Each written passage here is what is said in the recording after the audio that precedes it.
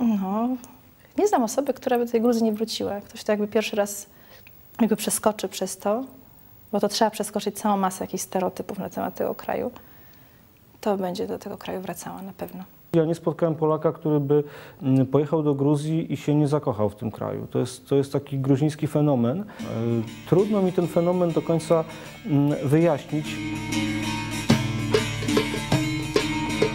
Na każdej suprze e, uczcie gruzińskiej, nawet jeśli ta supra składa się z kilku pomidorów, sera e, i gąsiorka wina, e, przychodzi taki moment, że tamada, czyli podczaszy podający toasty, w którymś momencie zazwyczaj prosi gościa o wygłoszenie jakiegoś toastu. Ja w którymś momencie trochę pod gruzińską publiczkę, a trochę w sumie dla samego siebie wzniosłem taki toast, że no za to, żebym mógł wrócić tutaj w czas pokoju i zobaczyć, jak tu jest, kiedy nie strzelają.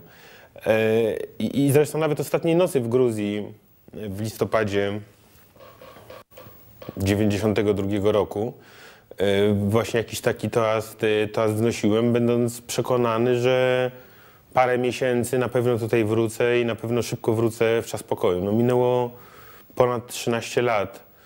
Od samego początku bardzo dużo podróżowaliśmy ze sobą i e, w różnych kierunkach e, jeździliśmy. I pewnego dnia ja sobie pomyślałam, że tak dużo mówisz o tej Gruzji e, i że tam tak jest cudownie i tyle tam spędziłeś czasu, to może tam pojedźmy w końcu.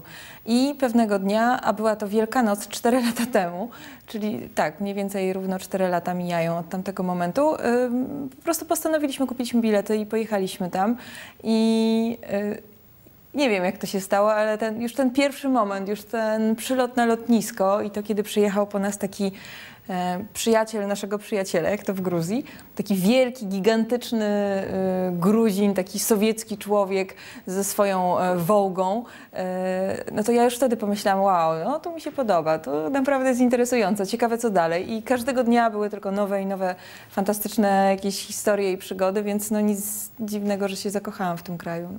E, Szczerze mówiąc, e, zadawałam sobie często to pytanie, dlaczego, jak to się dzieje? Jak to się dzieje, że e, ludzie, którzy się urodzili w Polsce, mają swoje życie, mają swoją ciekawą, e, swoje ciekawe życie zawodowe, nagle po prostu dostają świra na punkcie Gruzji e, i, i gdzieś tam chcą, dążą do tego, żeby pojechać do tego kraju i, e, i, i poznać, albo jak już raz ktoś wyjedzie, prawda, to już przestaje być taka zwyczajna turystyka w tym sensie, że ach, byłem, widziałem, wróciłem, tylko, tylko, tylko stają się faktycznie fanami Gruzji i, i prawdziwymi ambasadorami Gruzji. I e, czytając książkę Marcina e, i Ani, uświadomiłam sobie, skąd to się bierze. Moim zdaniem po prostu Gruzja kojarzy się z przygodą. I Gruzja równa się przygoda. To jest to, co się przewija też przez całą książkę, prawda? Każda strona to jest przygoda. Raz, dwa, trzy. He. Nardani naj naj na,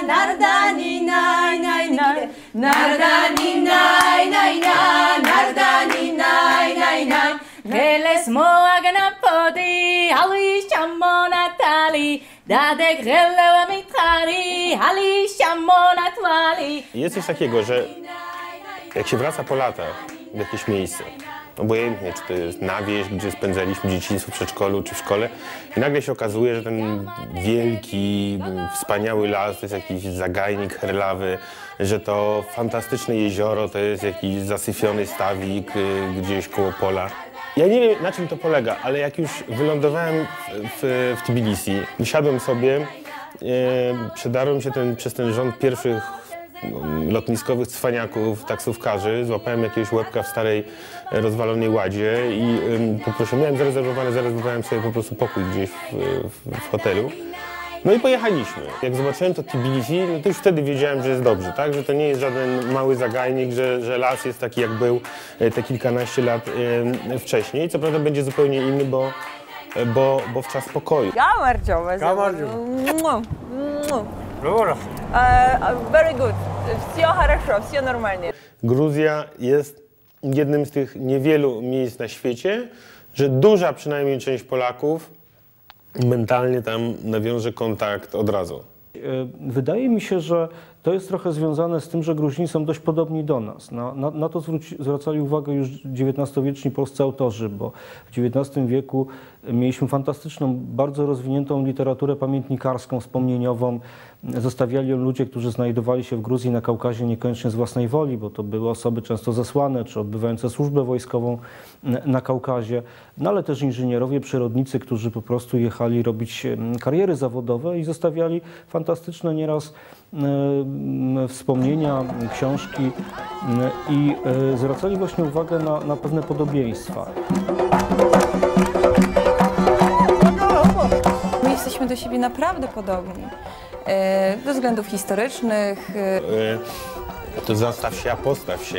ze względów na naszego wielkiego, strasznego sąsiada, czyli Rosję, Jakaś niefrasobliwość, jakieś, jakoś to będzie. nieudane powstania, rusyfikację. Jakieś takie, jak gość przyjedzie, to, to wszystko dla niego zrobimy. Bycie w jednym wesołym baraku e, socjalistycznym. Też e, powiedzmy picie, znaczy e, tu występują różnice. Więc rzeczywiście jest coś takiego, że spotyka się Gruzinów i natychmiast łapie się ten e, kontakt i, i, i ma się te tematy do, roz, do rozmów i, i one się nie kończą.